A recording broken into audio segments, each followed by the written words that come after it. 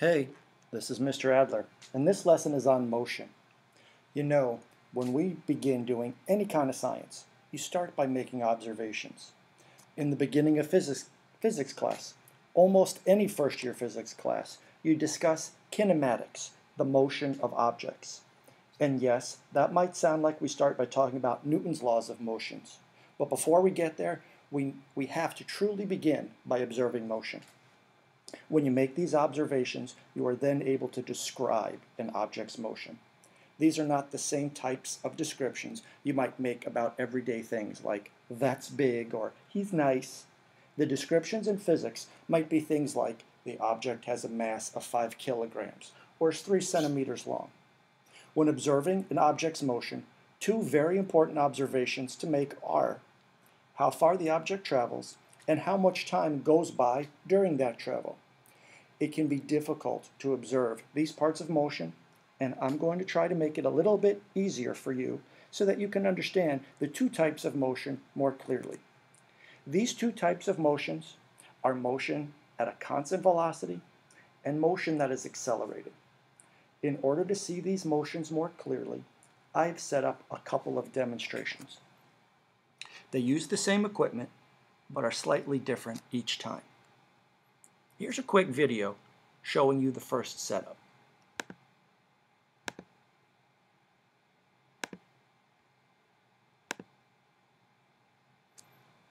You can see an air track. This is very much like an air hockey table, except the track only allows the glider that sits on top of the track to move back and forth. The air from underneath reduces the friction so you can see that after accelerating from the force of my push, which we'll talk about later in the year, the glider has no unbalanced forces acting on it. So, just like Newton's first law states, an object in motion will stay in motion at a constant speed unless acted on by an unbalanced force. There's an unbalanced force in the beginning to get the glider moving, but then there are no other forces acting alone on the glider so it moves with a constant speed. Velocity really, because it does have a specific direction. I also have a camera and a strobe light. I can open the shutter on the camera and leave it open. If I do this in a darkened room with the strobe light flashing, the camera will record several images in one picture. One image every time the strobe lights up, in this case the glider, with a nice bright strip of paper attached to it. Look at the result.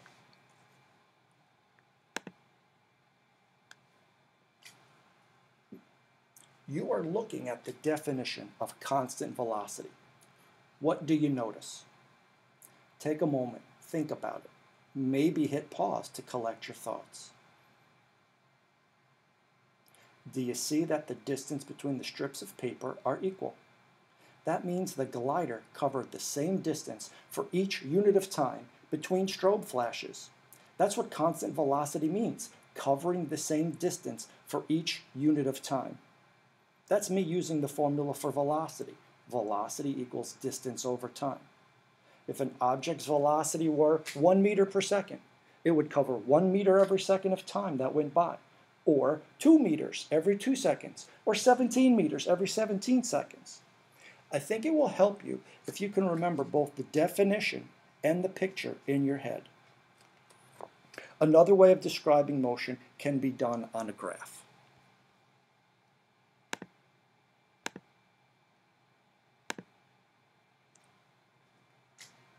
We can graph motion several different ways. I want to show you two of the most common because the same description looks differently depending on the graph you make. Since velocity is time divided by distance,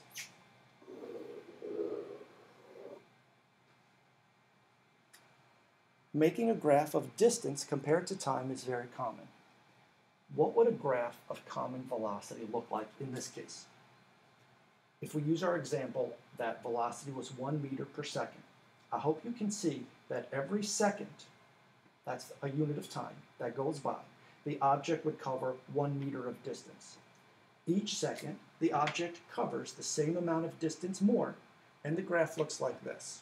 Let's say this is one second, you cover one meter. Another second goes by, you cover another meter. and so on. Every second, you cover the same amount of distance as you covered in the amount of time previous. If you calculated the slope of your line, you calculate the speed of the object. That's the magnitude of the velocity, just not the direction. Objects traveling faster would have steeper slopes than objects traveling slower.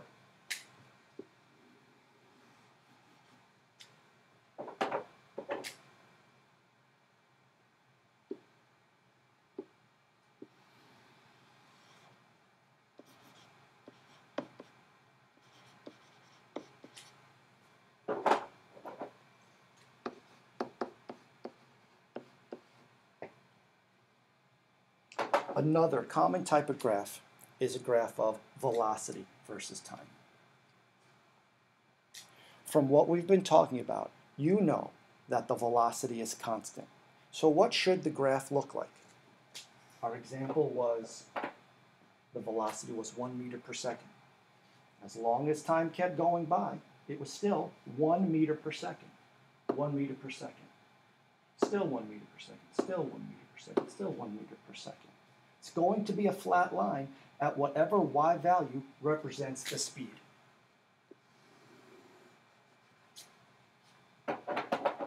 Objects moving faster still have a graph that is flat. It would just be a higher y value. Those are supposed to be flat lines.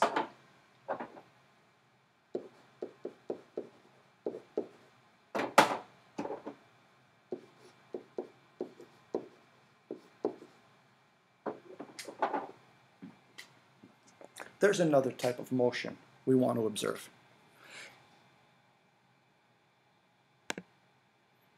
If you look at the setup for my next demonstration, you can see I've made a little change.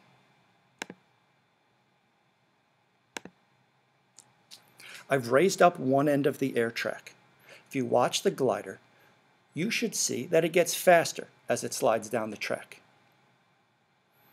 By tilting the track, I'm letting gravity, the force of gravity, affect the motion of the glider. This is an unbalanced force, which I keep saying we're not going to talk about, but it's tough to ignore. The unbalanced force of gravity accelerates the glider. Again, I did this demonstration in the dark. This time I'll prove it by showing you the funky light show that happens when I take my pictures. There's the strobe. There's my strip of paper on the glider. You see it every instant or two, and the camera picks up all of those instants and puts them on one picture. Here's the result. The picture doesn't look the same as when the motion was constant. How is it different? I'm going to give you a dramatic pause so you can think about it.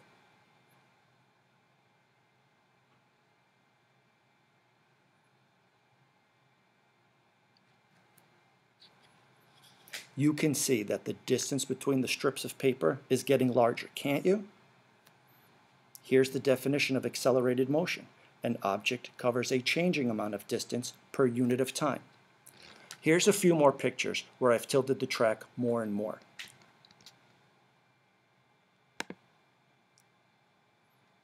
You can see the distance between the strips grows faster. We got one more. Now, there are changing types of acceleration that you will get into more depth in class, but this is the type of acceleration where an object is moving forward and getting faster.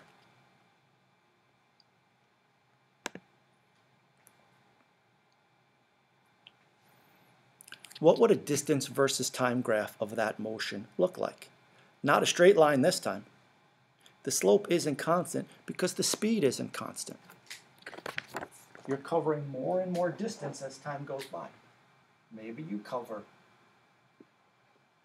this much distance in the first second, but in the next second, you're going to cover more. In the next second, you're going to cover even more, and so on. You see a curving graph with an increasing slope. But be careful here comes the tricky part. If you make a graph of velocity versus time, it might look something like what you've seen already. It's a sloped line. That's because the velocity is increasing. And we'll always make it increasing at a constant rate. It looks like a distance versus time graph. The velocity is getting faster and faster and faster as time goes by. It looks like the distance versus time graph for constant velocity. So it's very important to look at what the y-axis represents. They are not the same motion, and they are not the same graph. This might not be the most favorite thing you want to do here, but you might want to watch this video over again to make sure you understand that there are two different types of motion that can be described with four different graphs. Always make sure to know what type of motion you are describing and what type of graph you are looking at or making. I hope this helps.